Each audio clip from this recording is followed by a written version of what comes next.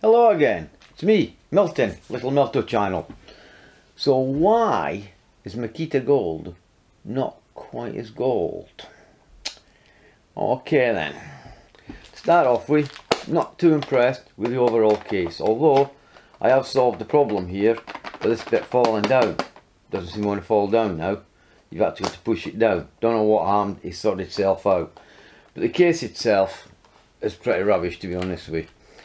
Now, the next problem is trying to get some of these bits in and out, right?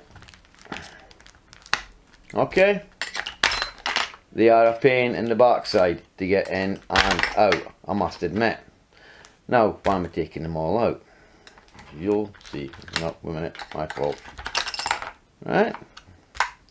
Because I'm going to show you something. Because there have also been complaints about putting the bits back in as well. I'll get round to that. Right, are you coming out? Right, come on. Right. Now, to start off with, another problem I found with them. This bit here, when I was using this self-threading or self-tapping screw here, I was using this one here, right? See how it wobbles? I'll just follow that. wobbles about, right? And I couldn't get it to go down right. I had to actually go down into an, an original hole that was there, which was a bit smaller. And the problem is, is this bit here with the magnet on it. So really and truly what I should have done was, I should have used this bit. Look. Still wobbles a bit, but not as much. Right? An action replay on that one, just to prove it. Nice magnet actually that on it, I have to admit. Right? It actually pushes it forward a little bit. And because the heads on these are slightly, I think, caved, concaved in. Slightly, are they? I can't really tell.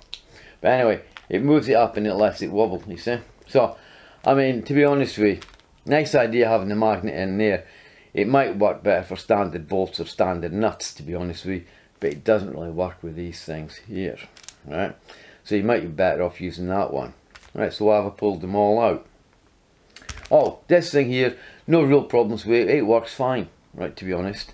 I mean, there isn't actually in this, is it not wearing this one? No, they're not actually. Could do a bit. We got a bit line here. I'll just try this bit here. No, I must admit, no problem straight. Because we've got this one here, you see.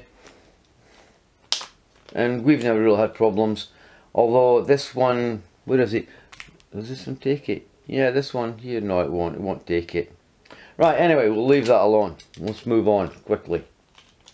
Right, so we've done this. So what's the problem about putting things back in?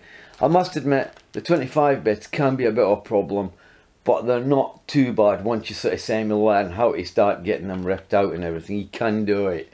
It's not too bad. It's a bit of technique to that, like, which is just pull it up when you put it back in. Just make sure that you're on there and if they do push into place. I must admit, I suffer from rain after. If my fingers get cold, it can be a bit of a problem. But these are a real pain to get out, and some of these sometimes can be a pain as well. But we'll get round to that. So what's the, uh, what is the problem putting them back? I'm going to show you now, okay? Okay then, one of the problems we're getting by putting the bits in, if you look there, and there, and there, and there, there's these bits that stick out what we're doing is we're doing it wrong. If we put them in like so, like this, right, they actually clip in no problem at all, right? And that's what we're doing wrong. We're not pushing them in there first. In other words, we're not pushing them in at a diagonal like this first. You see, I'm sliding up there. Hope that's still on camera. See, like so. And they actually clip in no problem at all and that's what we're doing wrong you see. Although I will admit this here can be a bit of a pain in the backside to put in. Of course it there we are it's in. And that's what we're doing wrong. We're not putting them in at the actual angle. I'll just show you again on this one. Right? If you put them in like that first at that angle then push it down like that they go in no problem. Okay then? That's how easy it is. Oh yeah I made a statement about the about it was actually more about these bits here right? About the fact is that some of these Makita bits are as good as way and I'm or where and I'm not joking. These are these uh, 25 mil bits here they do go on for some time I must admit. These are PZ2s here and you can get them in PH2 as well. They are very very good and long lasting there's our one that's went on for I don't know how many screws it's done. It has done loads. We've given up trying to count up how many it's done. It's done a lot. There have been complaints about Makita Gold breaking. Fine. I admit this is totally possible. Problem. I've looked down on some of the lists, right, and some of my mates have, and they came to the conclusion, well, okay, so Makita Gold bits do break. And just so the others as well, for the other companies. The problem is, they're not listing, right, the actual, what size is actually breaking. Now, there was a live broadcast, uh, VCG construction, it was, and it was completely and utterly live. They had a T20 just prior to this he was about to say something about Makita Gold and got interrupted and didn't say anything. Shortly after that they broke one completely and utterly out on live as I say. And I thought to myself I thought I knew this but unfortunately my first video was ready to go up anyway.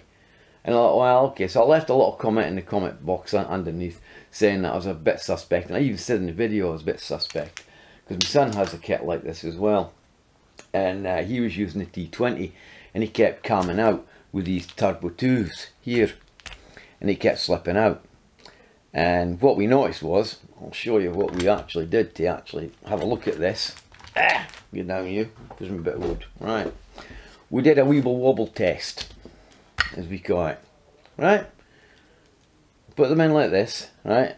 And we weeble wobbled it about. And yeah I must admit it's quite loose. So maybe this is what was causing the problem, right? So we thought, well, that's a turbo 2 bit. Let's try Spax bit, right? Oh my god, it's even worse than the Spax. Let's try bigger Spax then. Hmm, fair enough, like, yeah. You got to say, is it just this bit? Well, no, we tried different brands for different companies, like Bosch, Milwaukee. This is the new FlexTorq for DeWalt. And as you can see, uh, it's not too bad, it's wobbling as well, you see? see that's definitely worse. Okay then, let's try their T20 on the 65 mil this double-ended. Watch what happens. Ah, right. Aye, now we start to form a picture. Not finished yet. Turbo 2s, screws in this country, actually do come with a free bit. And this is a free bit. And I think we figured out that the Turbo 2 bit was actually worse than what the T20 was for Makita, the small 25mm one. Or half inch, I suppose, if you're an American. Right, basically speaking, they are crap, they are garbage, there's no excuse for it. These are just breaking because the fact is they are.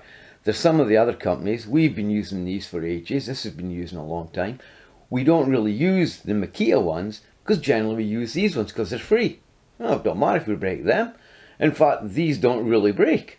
For cheapness, they outdo the Makita Gold. Hence why, not quite as gold. They're not quite the gold standard, I suppose you could say. So really and truly, are disappointing. But are the others any good, right? Well, we did have a quick look at them and a quick play with them, right? Using Turbo 2s, right?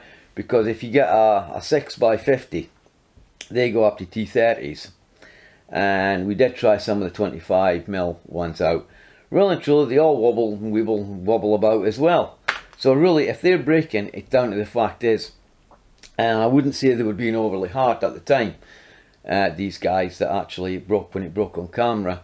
And they were using a flex ah not a flex torque but get it back out again. They were using one of these I think. It did have a torsion zone. So there were no excuse for it breaking. As far as I'm concerned, we were suspect years year ago, right, about uh, Makita Gold T20s, and still suspect about it. I'm not very happy with them. So anyway, what next then? Okay then. The other thing was, and we've all been missing it, and yesterday I made a video, or maybe the other day, depends when this one goes up about Spax screws, right? Something quite unique about them.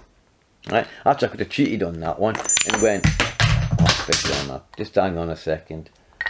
I'm going to pick them up. I could have cheated, right? And went like this. Yeah, but look, look what happens when you use a Spax bit, right? Look, you get no wobble at all. Ah, that's why I made that video the other day and put that one up first because he could have cheated on that one and made Makita Gold look absolutely rubbish. As I said, the Weeble wobble as much as the blinking well rest of them for DeWalt, Milwaukee, Bosch. There is no real difference. So anyway, we'll leave this. Right. Uh, right, on with the next bit. The next bit, the favourite bit. This lovely little magnet. As reviewers, or people that look at into stuff and tell us, you guys, all about them, right? When we're like looking at sets like this here, one of the things we actually do is we concentrate on that particular brand. And we go on about, get this one out, how good the magneticness is on the bits here. We're all guilty of it, right? But the one thing we forget to tell you is that sometimes some of this equipment works just as well, right? Some of that's gotten magnetic. I've been playing with this and some of these have gotten magnetic. Yeah, look. That just slipped on there nice. Let's uh, we find a nice PZ, PA, PZ2. There we go. If it's on, that's a Milwaukee bit. But does it work on all 25 mil bits or 2 inch bits? Well, let's have a look. It worked with Milwaukee. You seen that? Spax. Because yesterday I said that on that video. I could really do with something magnetic to actually take this off. Oh, by the way, stainless steel. yeah, right. No. Hmm. Right? That's Spax. So it even works with the Spax bit as well. Okay then. Does it work with DeWalt? That's the old DeWalt Torch, uh, torsion zone bit. Keep losing this, right? Yeah, goes on after it works very well with the DeWalt's actually, I must admit. And this is something we forget. Hang on a minute, we've got something really cool here that actually works, right? And it could actually benefit you. Is it any better than some of the other screwdriver bit holders? Blinking versatile, I'll say that much. So it has to be good then. Is it brilliant? Well, who knows? Pray uh, in innovation, innovation, innovative, or something like that. Anyway, I shouldn't use big words, right? And for a laugh, we've got a very old Stanley FatMax, or it might even be a Piranha, right? And it should work with them as well. Oh, it's tight, but it went on. Actually, that's kind of why, because that is actually a PZ3. Uh, have got a PZ3 bit lying about? Let's try it out. You PZ3? Nah, you're not quite a PZ3. You ain't got PZ3, but it would work with it anyway. It would work so tight. So we definitely know it works with PH2 and PH. Worked, it works with the 3 because I did get a 3 on there, so that was fine. Right, I got these bits lying about everywhere now. So, ah, next on the list though. How about FlexTorq? Because they've got a they've got a longer uh, torsion zone on them now only by 5 mil, but roughly. Uh, well, we're going to work with them, with them flex torque bits. Try it out. Ooh. Quite sloppy, right enough, being a bit longer, but it'll hold there. Now, where's my screw going? This is what happens when you start throwing things around everywhere. I've lost, I've actually lost my main screw now. Uh, there we go. But, ah, there it, I found it. Found my main screw. There it is. Yeah, it goes on, stays on. I've not have done it. Right. You know, looking forward a bit. Mm, yeah, yeah. Yeah, staying on. So there you are. You see? Now, oh, just one more thing. I found. A review on Sabrecut bits. One thing I didn't notice was, and these have an extra length on them, they're slightly longer the flex torque zone, if you actually hold this up up against that and look at it, guess what? Yeah, it's got a longer flex torque zone on it as well. The, I reckon these Sabrecuts are going to last a long, long time. And not only that, here's the flex torque T20 actually. And I shouldn't really throw things about everywhere. God I almighty, this magnet strong, everything sticks to it. Right, and we got a T20 bit, we'll just picking up all sparks. Another stainless steel screw. It still holds it, it takes it. So there you are. As I said, as reviewers we sometimes do forget, hang on a minute, some of these bits and pieces will work on other equipment. And I have to admit, there you go, this little magnet. You can buy it singly in Britain. Guess how much? I wouldn't pay this price for it. Cheapest I looked it up at about £11 and yet the Americans can get it for under $7. Notice I said $7 not £7. Right, so anyway, there you have it. Hope you've enjoyed this video. Hope I've cleared some things up for you like. So, anyway, my name's Milton, chance called Little Milto. Subscribe if you want, thumbs up, thumbs down. And I'll see you the next time when, hopefully I'm not putting that chuck up. I'll try and think of another video to make. Okay then, bye now.